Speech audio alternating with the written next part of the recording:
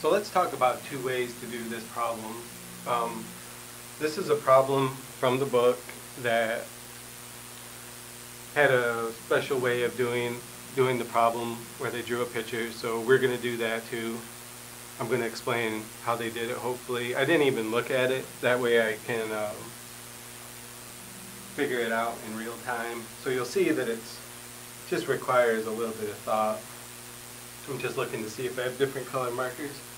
Um, but one thing that they didn't talk about is that you can set up a system of linear equations. I think they mentioned it, but they I'm pretty sure they didn't do it. Um, so what you do is you assign a variable and make a key. So my key is going to look like this. I'm going to let x equal the cost of an apple.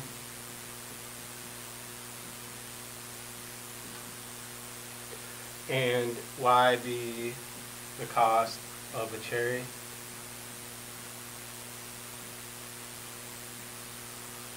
Okay, so we're told that four apples and three cherries cost 340. That means if you take the cost of an apple and multiply it by four, that's how much money you're paying for apples because you have four of them. And if you take the cost of a cherry and multiply it by three, that's how much you're paying for the cherries because you have three of them. And then total, you know, see this and means plus normally in math. If you add what the apples cost together with the cherries, you get 340. So in other words, we have 4x plus 3y equals 340.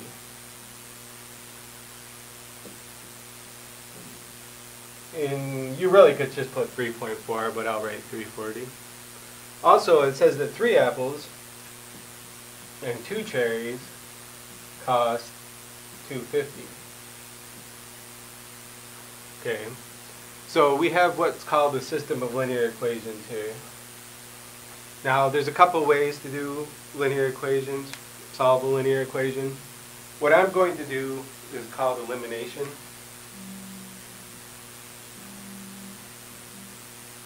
What I'm going to what I'm going to try to do is get either the x the coefficient, the number in front of the x's, to be the exact opposite of each other. Like let's say this if this was negative, or if this was positive 6, make that negative 6. Or I'm going to try to get these the opposite. I think it's easier to get these the opposite of each other. So what I'm going to do is make the top one 6 and the bottom one negative 6. Well, what I have to do to make the top one 6 is multiply everything by 2 and to make this negative 6, I have to multiply everything by negative 3. So the top one, I'll call it equation 1, and the bottom one, equation 2. The top one, the top equation becomes 8x plus 6. Be good if I could write a 6. Y equals 680. Make sure you multiply the 2 to everything, even that. Then the bottom equation becomes negative 9x plus negative 6y equals negative 750. Now what you do when you have um, one of the coefficients, um, one of the variables that has opposite coefficients, you add the two equations together. You always add. So 8 plus negative 9 is negative 1. I'll write the 1 there. Usually we don't.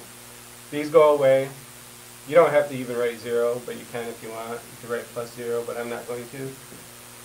And then this is going to be negative 750 plus positive 680 would be negative 0.70. Okay, so it's negative x equals negative 0.7. So you divide each side by negative 1 to get rid of the negative. You get x equals 0.70. What does that mean?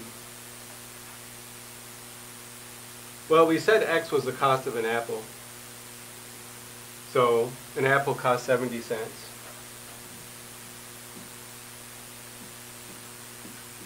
Okay. Well, we don't know how much a cherry costs, unfortunately. Well, we can figure that out. I'm going to go to this equation here,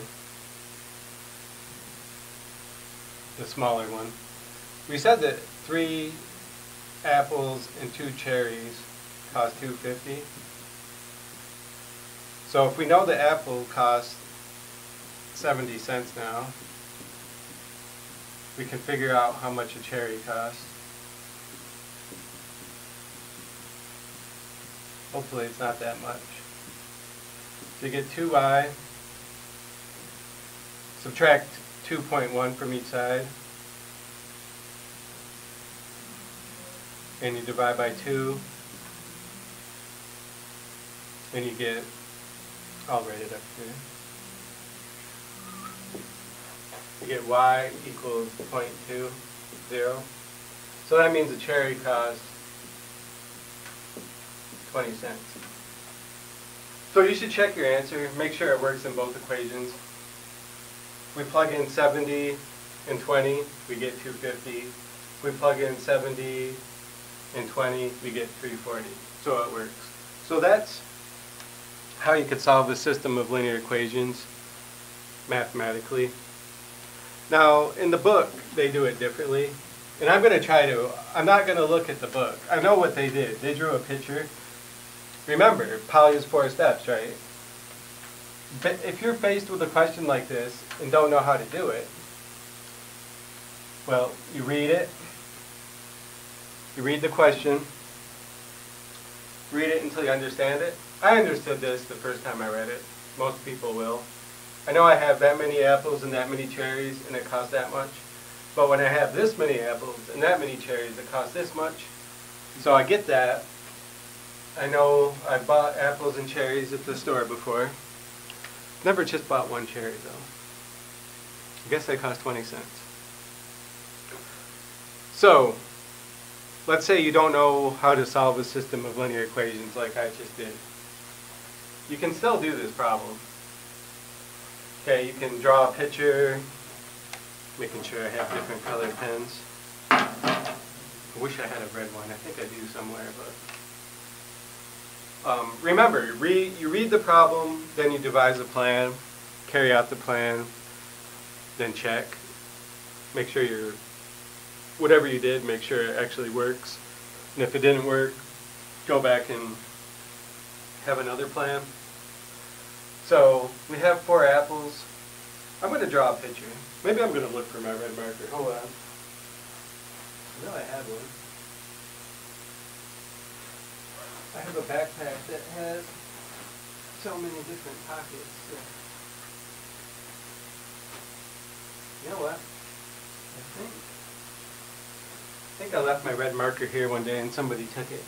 Oh well, I have an orange one. I guess we have orange apples. So we have four apples. I guess that's alright because apples and cherries are both red. So I guess I don't really need to. What I'll do for the cherries, I'll make them blue and I'll make them smaller. Because that makes sense, because they're smaller. Okay, so I have four apples and three cherries, and they cost three forty. Okay. Well, so this whole thing, my drawing is going to be really weird, so be prepared. This whole thing cost three forty. Well, I know something else. I know. So this is my plan. Let me uh, follow the four steps. My plan is to draw a picture, try to use the picture to um, help me figure out how much an apple and a cherry cost. So that, that, that's my plan. My plan is just to draw a picture. There's nothing else that goes with the plan. Now carrying out the plan, I have to like think about, is it going to help me? Does drawing a picture help? Well, as I told you before, I read the problem and I understand it. I know that four apples and three cherries cost 340. That's not the only thing in the problem though. I did read the problem, so I know there's other information. I know that three apples and two cherries cost two fifty. So let me draw another box around three apples and two cherries.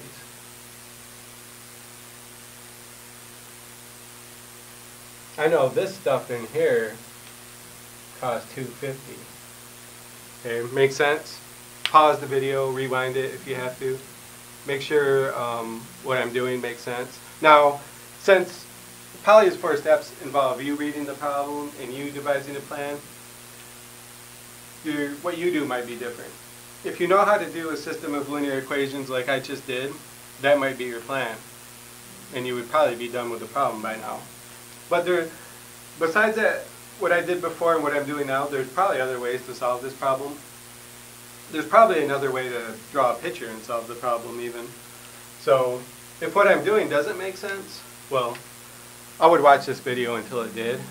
But if it doesn't, and you still know how to figure out the problem, then you're fine. Well, let's see what's going on now. If this, if the stuff in this box costs 250 and the whole thing costs 340, that must mean this and this cost 90 cents together. So I'm going to make a box around these. This stuff costs 90 cents. Okay. Well, let's see if I've gotten any further closer to the answer. Do I know anything else? Well, no. That's pretty much all I know. So, how can I use this information?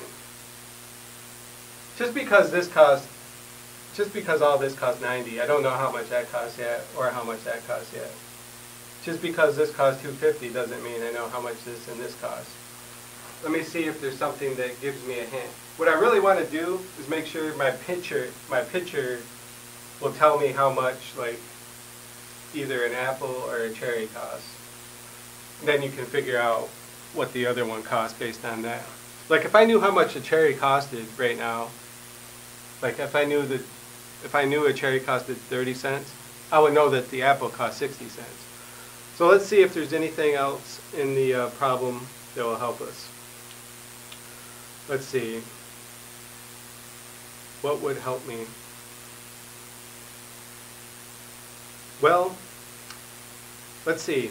I know an apple, oh, so now I know that an apple and a cherry cost 90 cents. Oh, see, I'm about to figure it out. I know an apple and a cherry cost 90 cents. That means this apple and cherry cost 90 cents. Does that make sense? It should. You know an apple and a cherry cost 90 cents? That means anytime you have an apple and a cherry, it costs 90 cents. So this costs 90 cents. That means this costs 90 cents. Well, so these two things together cost $1.80. But everything inside this box here costs 250. Well, this, this, this, and this cost 180. That means this costs must cost 70 cents. Okay? So now we know how much an apple costs. It's 70 cents. Well, if everything in this box costs 90 cents, then this must cost 20 cents. So we have an apple costs 70 and a cherry costs 20. Now I don't need to check my answer because if, if you were just um, doing this right from the, the beginning you would, but remember I just solved it using a system of linear equations. So I already know that the answer is 70 and 20. Other than, otherwise you would need to check it, or you should check it. You would just check it by making sure that when you add it up 70, 70, 70, 70, 20, 20, 20, it would equal 340. And the same with 70, 70, 70, 20, 20 should equal 250, and it does. So that's um, one way you can solve, or two ways really, you can solve a system of linear equations.